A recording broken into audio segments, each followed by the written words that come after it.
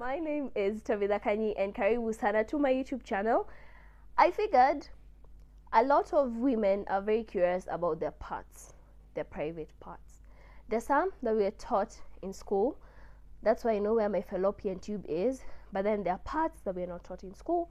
And due to my curiosity, I did a little bit of research. And here are the things that I found out that I thought you would be interested to know. Right? Niko na Mwakenya. I have like a whole three page Mwakenya. le you can't tell me nothing. I know what I'm talking about. Nimefanya research. Okay. In 844, obviously we were taught um, the internal organs of our private parts. But I feel like it's easier for men because when you're standing up as a man, you're seeing them. Most of the time, we don't even see them. Like, you know, it's out of curiosity that you get a mirror or a camera, but but it's it's so tough to know what you're dealing with.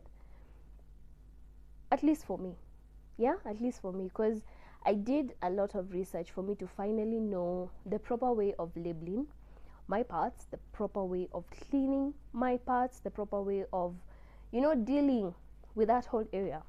So I'm gonna start with um, parts of female genital anatomy. There are two parts, which most of us actually confuse. One of them is called the vagina, and the other one is called the vulva. Most of us assume that everything down there is actually a vagina, and it's wrong. It's the vulva. The external part is the vulva. Okay? The internal part is the vagina. Sawa? Now that we have gotten what a vulva is and what a vagina is, let's start labeling them. There is um, the mons pubis. I'm really hoping I'm pronouncing this right. That is the top part of that area that grows hair. There is the clitoris hood, which covers the clitoris. And when I say the clitoris, it's literally the tip of the clitoris. If you're wondering what I'm saying, hold up. Did you know that whatever you're seeing and whatever we call the clitoris is just a quarter of it? The other part of the clitoris is inside, hidden, where it cannot be found. Did you know that? I just learned that like three weeks ago. Hmm? Okay, can we move on? Yes, thank you very much. The next one is the urethra, the urethra opening, and then the last one, the vaginal opening, and then now I think everyone knows this is actually the anus. And then um, we have the lips. So there are two types of lips. There is the outer one and the inner one, right? The inner one is actually called um, labia minora. The outer one is called labia majora. Who knew? Who knew? I'm sorry. Am I the only one who's discovering such crucial things at 25? I feel like this is something that I should have probably been taught. Probably, right? So we've mentioned what is where, but do we know the uses? Well, basically, let's start with the clitoris, satisfaction, pleasure purely. And then we have the urethra opening, which is basically where we pee from. That's where the urethra is. And then we have the vagina opening, which is basically where we menstruate from, where we have children from, where we get discharge from. And then we have the anus, which everyone has. So we have three holes down there. If you are wondering how many there are, there are three. Okay, there are three simbili ni tatu. Okay, is there a proper way of cleaning? And do you clean the vagina or the vulva or what are you supposed to be doing?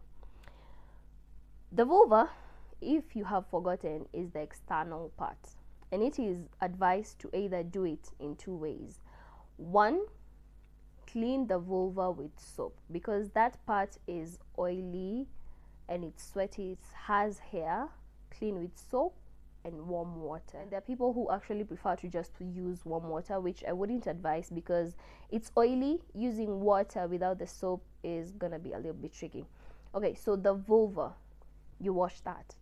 The vagina, on the other hand, is not supposed to be washed. There are two things that the vagina does it self cleanses by one, the pH. It has a pH that's around 3.5, which is basically the same as a lemon pH, and you don't want to mess around with that because when you do, either by cleaning or putting water in there or putting anything else as a method of cleaning, you're gonna wash out the good bacteria that's protecting you from getting infections and actually open up your vagina to a higher risk of getting infections and STIs. Okay? And the second thing that it itself it, it cleans itself, it self cleanses. Is that proper English? Yes, it self cleanses is basically by the discharge. If you're a woman, you know what I'm talking about. When it comes out, it cleanses all the bad bacteria, um, the vaginal discharge, makes sure that you know when you're menstruating, hey, menstruation, guy, that's another topic for another day. But when you're menstruating, basically all the blood that is left on the walls, the discharge makes sure that comes out and it leaves that area with proper pH. Okay? So, what have we learned about washing? Wash your vulva. Do not, and I repeat, do not wash your vagina. Okay, this is how you'll get infections easily, darling. And then let's go to underwear, underwear, underwear. I feel like everyone feels comfortable in some sort of underwear, but cotton is the best underwear that is there. It's literally the only underwear that we should be wearing. But because sometimes you want to feel sexy, you know, have some lace in there, some thong in there, please make sure that you're not doing it for an estimated like long period. Okay? Get you some cotton underwear. Girl, that woman down there needs some cotton healthy underwear. Okay?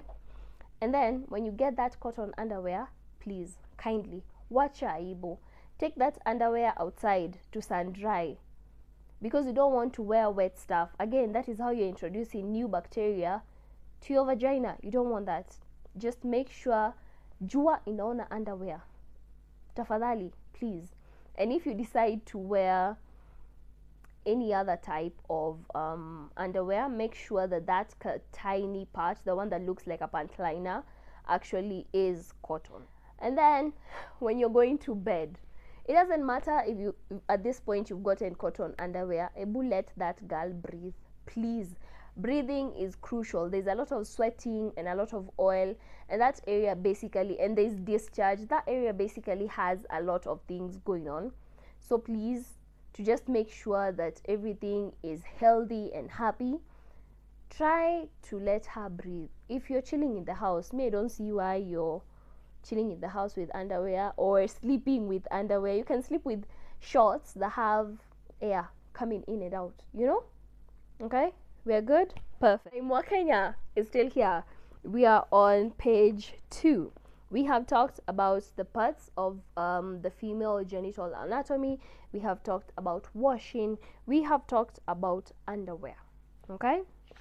Let's talk about ALB or do's and don'ts.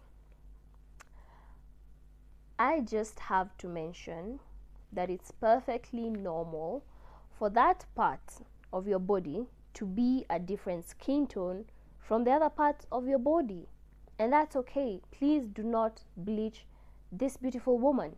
That is how she was meant to be. Sawa, leave her. She's happy, she's healthy. Leave her alone. Do not bleach her. It's perfectly normal for that to happen. Second thing that's quite normal, if you use razors or Gillette to shave, you'll eventually have bumps. And that's why it's advisable to either use scissors and like cut on top or wax. And if worst comes to worst and you need to shave, just make sure that you're using the Gillette from waist down. You're going where the hair is going, not against the hair. Because once you go against the hair, that's when we have black spots and two bumps it happens even with men when they're shaving their beards unaona bumps unadhani kwa nini it's because of that razor okay it's basically very normal for that to happen. Stop panicking. Sawa? And then something that i feel like every young girl and lady should know is that you're supposed to be wiping from front to back not the other way around. You start from front going to back. Because when you start back coming to front everything from your anus which is feces will enter your vagina and urethra urethra and that will give you crazy ass problems. Baby you don't want that okay? And then we should try as much as possible to clean that area once or twice a day so that it's fresh. And when i say fresh i don't mean it has a scent. Please please please please. Do not use scented soap when washing.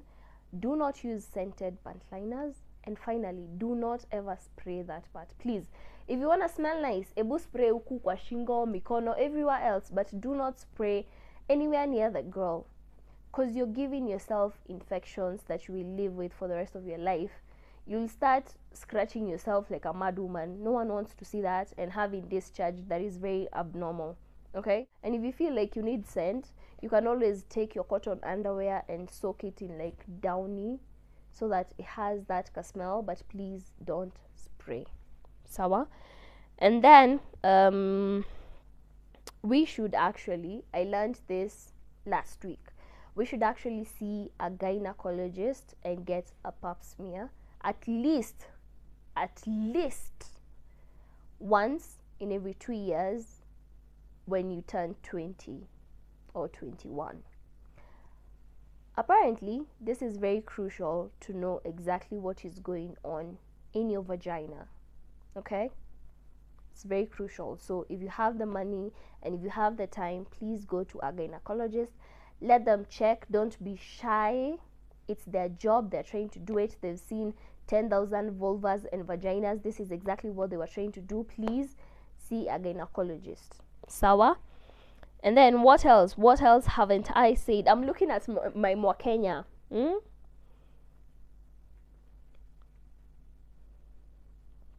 whenever you visit friends or boyfriends or girlfriends and you're given a towel or a bucket please kindly. Hmm? you know what to do. You know what to do. Whatever you're using to wash your girl with or wipe her with has to be clean. So i would advise the next time you're going to visit someone carry your own tiny cloth to clean your girl.